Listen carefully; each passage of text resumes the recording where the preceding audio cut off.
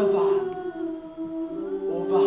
by the vast mountains of Great Waste, in the shadow of which stood Pantglas Junior School.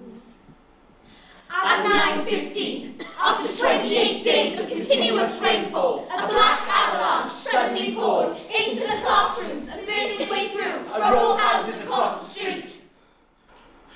A total of 144 people died that day, smothered by the coal dust that surrounded them. 116 of them were children.